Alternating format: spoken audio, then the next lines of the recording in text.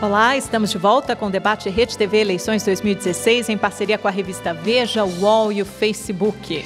Agora, cada candidato vai responder alternadamente a duas perguntas de internautas do Facebook que foram selecionadas pela nossa produção. São temas relacionados à administração pública municipal. As questões não fazem menção direta aos candidatos e o tempo de resposta é de um minuto e meio para cada um. Portanto, dando sequência à ordem alternada, quem começa a responder desta vez é o candidato João Leite. A primeira pergunta, então, para o candidato João Leite vem da Marina Duarte. O Brasil vive uma das maiores crises de sua história e só em BH já são mais de 170 mil desempregados, 80 mil a mais que dois anos atrás. BH é só a 12 melhor cidade do país para empreender, de acordo com o Índice de Cidades Empreendedoras da Endeavor. O que o senhor, caso seja eleito, pretende fazer para melhorar as condições para o empreendedorismo e a geração de empregos em Belo Horizonte? Um minuto e meio para a resposta. Obrigado, Marina nós temos uma proposta vigorosa, Marina. Nós vamos criar a agência digital de manutenção e atração de investimentos para Belo Horizonte.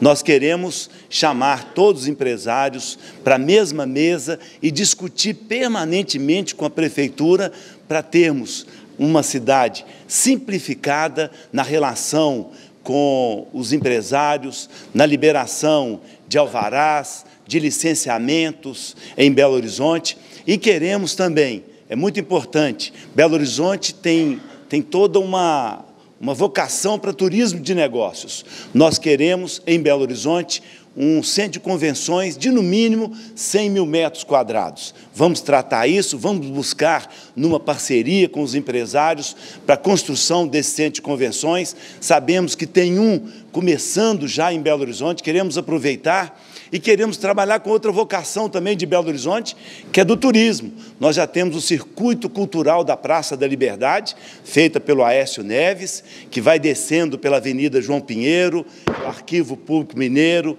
o Instituto Mineiro, depois é, o Tribunal de Justiça, o Conservatório de Música, e depois nós queremos também o circuito da gastronomia, o circuito Niemeyer, o circuito das serras, atraindo pessoas para Belo Horizonte. Obrigada, candidata. Agora é a vez de Alexandre Calil responder a uma pergunta enviada pelo Facebook, desta vez da Daiane. Candidato, o que vai fazer a respeito do mau cheiro na região da Pampulha? Pois entra ano e sai ano e nada é resolvido.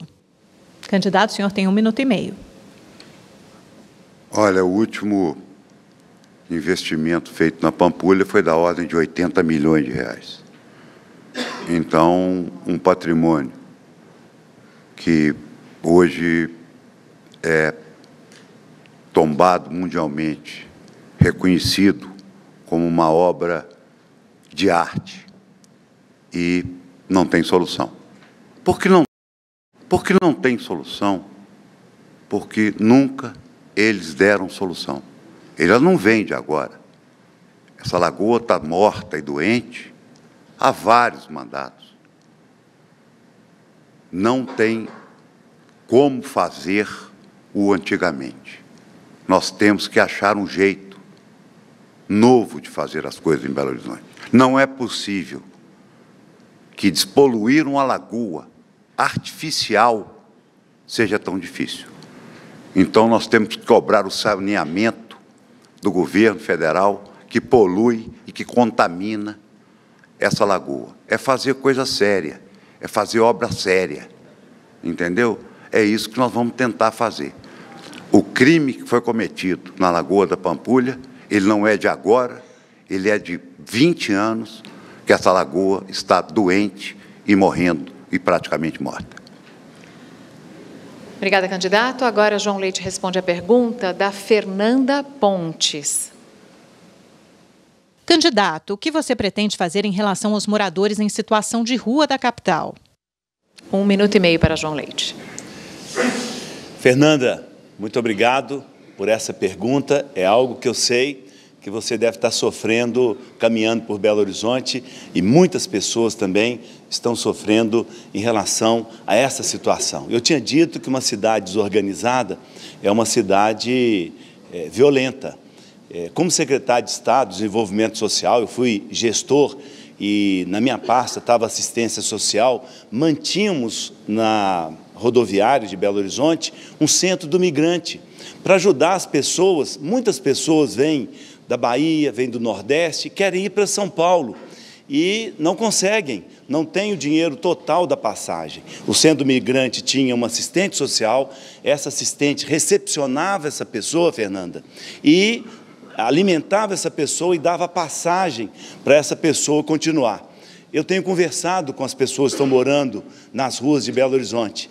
Olha, eu não encontrei uma de Belo Horizonte, todas são de fora de Belo Horizonte. Nós vamos usar o BH Cidadania móvel para abordar essas pessoas com assistentes sociais e vamos conversar, vamos buscar nas regiões onde elas estão moradia para elas, tratá-las com humanidade. Aquelas que desejarem voltar para o seu destino, a sua cidade, nós ajudaremos também. E a última pergunta vai agora para o candidato Alexandre Calil, é do Samuel Alcântara, também pelo Facebook. Senhor candidato, o plano do SUS é dito como o melhor projeto de saúde pública do mundo. Infelizmente, não funciona por causa de pessoal, fiscalização e, às vezes, infraestrutura. O que o senhor pretende fazer diante dessa celeuma? Candidato, um minuto e meio para a sua resposta. Realmente, o plano do SUS é um modelo que, que é estudado, inclusive, no mundo inteiro, porque é um modelo espetacular. Pena que acontece que todos sabem. Né? São desvios, são médicos presos, com, com, com, como nós vimos hoje, por uma gangue. Agora, os médicos corretos que estão aí trabalhando, que estão aí lutando, esses homens de bem que compõem, essas enfermeiras, atendentes, esse pessoal gabaritado não tem condição de trabalho, porque o dinheiro do SUS está se escorrendo na mão das empreiteiras, tá certo? Das empreiteiras contratadas por quem gere a saúde e no empreguismo. Nós temos que colocar esse sistema do SUS, que é espetacular, na mão dos médicos, das atendentes, das enfermeiras, entendeu? Das ambulâncias, do transporte, do, do, do setor primário, secundário, terciário dessa saúde. Médicos estão aí dispostos, motivados para trabalhar, mas a estrutura do antigamente não deixa. Estamos chegando ao finalzinho deste debate entre os candidatos à Prefeitura de Belo Horizonte. Para concluir, os candidatos João Leite, do PSDB, e Alexandre Calil, do PHS, farão suas considerações finais. Cada participante terá um minuto e meio, um minuto e 30 segundos. A ordem dessa rodada final foi estabelecida por um sorteio e o candidato Alexandre Calil será o primeiro a falar. O senhor tem um minuto e meio. Olha, eu quero agradecer à população de Belo Horizonte, ao que ela me proporcionou nessa última semana. Muito obrigado. Obrigado a você que ficou aí. E mais uma vez, me desculpe. Eu quero dizer que nós estamos desmontando um, um, um projeto poderoso, com 20 segundos de televisão no primeiro turno. Nós estamos sendo é, esmagados, porque são muitos, mas isso não vai ter problema. Nós vamos enfrentar, porque nós sabemos lidar com a pressão, nós não nos controlamos, nós vamos tratar esse povo de Belo Horizonte, o qual ele merece ser tratado. Eu sou um homem comum, Sou um homem de bem, do bem, nunca fiz mal a ninguém, entendeu? Eu queria deixar isso muito claro para a população de Belo Horizonte. Eu sou um homem que só fiz o bem na minha vida. Eu nunca fiz mal a ninguém. Eu não entendo por que estão vindo com tanta fúria em cima de mim. Inclusive, eles me conhecem, sabem que eu sou um homem de bem. Eu estou dizendo o seguinte: obrigado, população de Belo Horizonte. Obrigado pelo que vocês estão fazendo. Vocês entenderam que nós podemos ganhar essa eleição, fazer com generosidade, tratar essa cidade com humanidade e fazer essa, essa cidade funcionar de verdade. Muito obrigado. Obrigada, candidata. Agora é a vez de João Leite fazer as suas considerações finais. O senhor tem um minuto e meio. Muito obrigado. Você viu você viu a verdade de quem é o candidato, Calil não pode ser prefeito de Belo Horizonte. Ele não pode governar essa cidade. Ele não tem preparo para isso. E o mais grave, não é? Mas eu estou muito feliz de estar aqui nesse momento.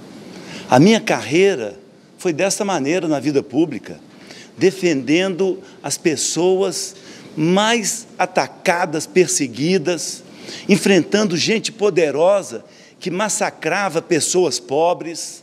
Foi isso, foi isso que eu escolhi para a minha vida.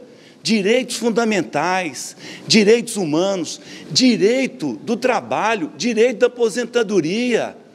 O candidato que se apresenta para ser prefeito de Belo Horizonte, ele esmaga os seus empregados, seus funcionários, mas ele se encontrou comigo. Eu sou o defensor dessas pessoas em Minas Gerais. Ele se encontrou comigo. E eu vou agora tomar a vida dessas pessoas para cuidar delas. Veja lá no nosso site o que, que esse homem faz com seus empregados. Eu já sabia que ele tratava mal os jogadores do Atlético. Me contaram.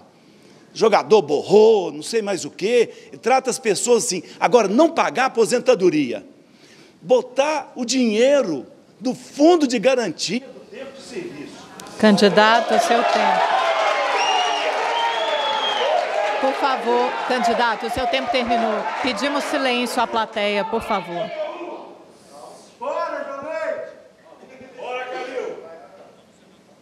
Nós chegamos assim ao final do debate com os candidatos que disputam o segundo turno para a Prefeitura de Belo Horizonte. João Leite, do PSDB, e Alexandre Calil, do PHS. Em nome da Rede TV, da revista Veja, do Portal UOL e do Facebook, nós agradecemos aos candidatos, aos convidados, a você, telespectador, e também a você que nos acompanha pela internet.